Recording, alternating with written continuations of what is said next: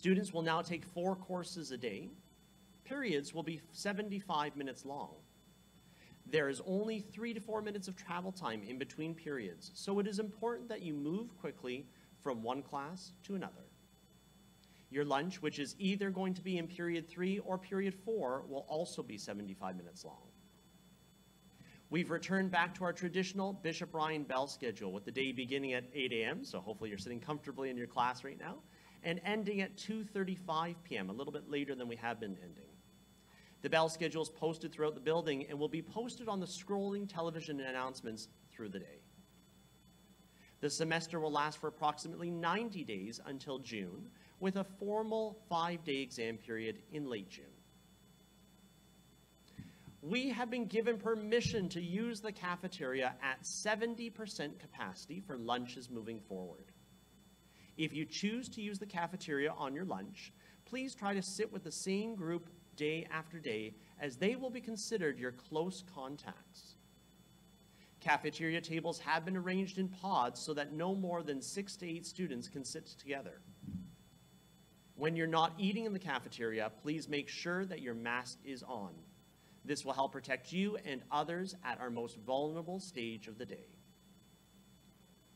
Please also remember that you are temporarily permitted to eat lunch in your classroom. Those of you on period three lunch are able to go to your period four classroom to eat, and those of you on period four lunch will be able to stay in your period three classroom to eat. So you've got two locations, Bishop Ryan, within the building to eat if you'd like to. We've also been given permission to use our common spaces a little bit more freely. Specifically, our forum will be a common space that students may freely spend time in when they are not scheduled to be in a class. Students must be masked at all times in all common areas, particularly and including the forum. Hallways and stairwells continue to be travel zones only, and I ask that you don't hang out with friends in these areas other than to travel from one place to another and to eventually access your locker. Food should not be eaten in any of our common spaces, including the forum, stairwells, and hallways. Speaking of lockers, we anticipate that we will be able to use student lockers beginning shortly, and of course you've started to hear about the plan to slowly transition all students back to grade lockers. Please understand that once we have officially returned the lockers, no school bags, coats, or other items that traditionally belong in a locker will be permitted in the classroom. In particular, non-uniform items should no longer be present in the classroom for any circumstances. Students who need to purchase a lock can do so at the attendance office on their lunch. More information about our transition back to lockers will be made available to you in the coming days. We've had to make a number of changes to student timetables, so I encourage you to continue to check MyPath for your updated semester two timetable. Timetable changes should be made through guidance by booking an appointment. Please listen up to future announcements about how to do this properly. Remember that you should attend all courses scheduled on your timetable until you have confirmation that you have received a timetable change that you are hoping for. Students that still have loaned school technology, such as laptops and iPads, must return those items to the library by tomorrow, which is Thursday, February the 3rd. We've been given the gift of a lot more freedom here, Bishop Ryan, and with that freedom comes a great responsibility to protect one another from the pandemic. Remember that regularly completing your daily COVID-19 self-screening assessment before coming to school continues to be a mandatory and an important way to protect our school from COVID-19 by determining if you should be attending school. Consistently wearing your mask, washing or sanitizing your hands, and staying safely physically distanced from others when possible is also essential. With that, I wish you a good start to this semester, Bishop Ryan, and now for more WRBR.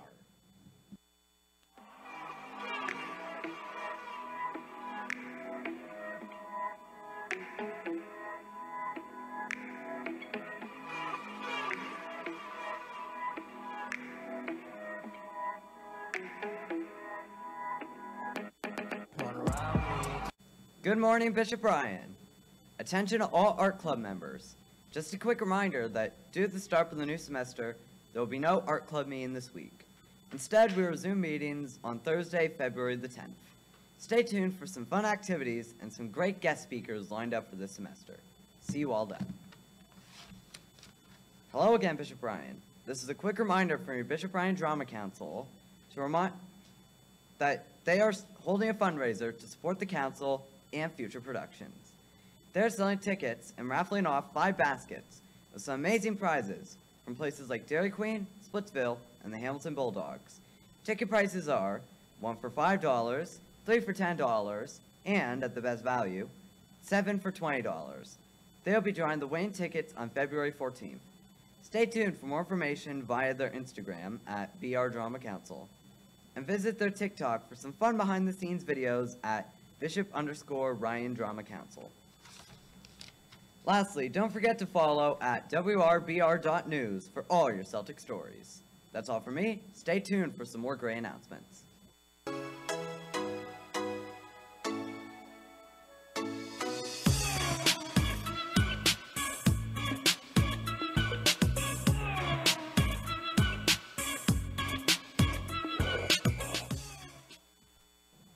Morning, BR. It's Timmy and Ashra. here with some morning announcements. Yesterday, February 1st, marked the beginning of Black History Month. Black History Month is a month long celebration of accomplishments by African Americans, Black Canadians, and individuals of African descent. It is also seen as a time to recognize and appreciate Black people's culture, activism, achievements, and global impact. It's safe to say that many of us lack a full knowledge on Black History Month, which is why throughout the month of February, we will be discussing, discussing historic Black figures as well as their impacts on Canadian society. It was through these figures and global movements like BLM that we can see the harsh realities of racial injustice on a global scale, allowing us to see the bigger picture behind these individuals and their stories. So, we ask for your attention as we speak about our first historian, Viola Desmond. On July 6, 1914, Viola Irene Desmond was born. Viola would grow to be a businesswoman, civil rights activist, and an amazing role model for young Black Canadian women. You might be familiar with her feature on the Canadian $10 bill. Viola built a career as a beautician and was a mentor who encouraged the growth of Black women in their personal employment through her Desmond School of Beauty Culture. Living in the predominantly white province of Halifax, Viola did experience racial discrimination. In November of 1946, Viola went to see a movie at the Roseland Theater. There, she requested a ticket for a seat on the main flood, but was instead stoled one for a balcony seat in the area that was reserved for non white individuals. After realizing the mistake, Viola attempted to buy a different ticket but was refused entrance to the main floor yet again. She tried to go in anyway but was confronted by a manager who threatened to kick her out if she refused to move. She did not and was forced out of her seat by the officer. Viola was taken to jail and tried without any legal representation. At the time, the legal nature of racial discrimination in Canada had yet to be settled, so all arguments made by, by, made by Viola were disregarded. She continued to fight her conviction, but was unable to do so and chose to dedicate her time and money fighting racial discrimination and segregation in Halifax. Viola died in 1965, but her legacy did not. Years after her death, Viola's story began to receive attention because of her sister, Wanda Robson, who began to speak out on her sister's experiences and even authored a book about them.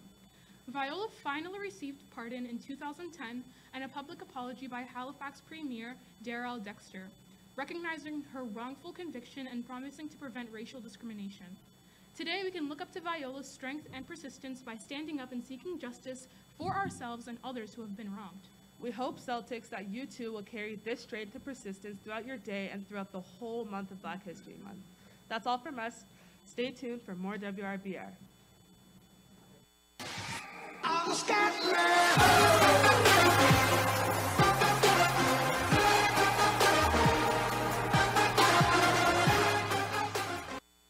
Good morning, everyone. I'm here to just to, here today to welcome you to your second semester and to uh, talk a bit about a community service volunteer opportunity. You would have received an email from me yesterday to talk about the coldest night of the year. Coldest night of the year is a, is a walk event very similar to Terry Fox that's happening on February 26th here in Hamilton Mountain. You have an opportunity to do it in person, walk either two kilometers or five kilometers, or to walk it virtually. There's that option when you register online. So when you do register online, you, you'll be able to make sure you connect yourself to the Bishop Ryan team. There's more information about this coldest night of the year walk and questions you may have on the bulletin board across the chaplain's, uh, across from the chapel. There's also more information also in the chaplain's office, which is just around the corner. We do have some great swag to win, as we can see in this lovely hat. All funds that are raised are going to the Neighbor to Neighbor, which is one of our local food banks here up in the Hamilton Mountain. So there's hats to be won. The person who registered first as our, part of our Bishop Ryan team is a winner. And the one who's going to raise the most funds will also win a hat, and then we'll do a random pick. So today, I'd like to announce our first winner, the first student who registered to be part of our Bishop Ryan Coldest Night of the Year 2022 is Nicholas Boca. Buka, uh, please come down to the chaplain's office today and to pick up your Coldest Night of the Year toque. Have a great day, everyone. Thank you for watching WRBR.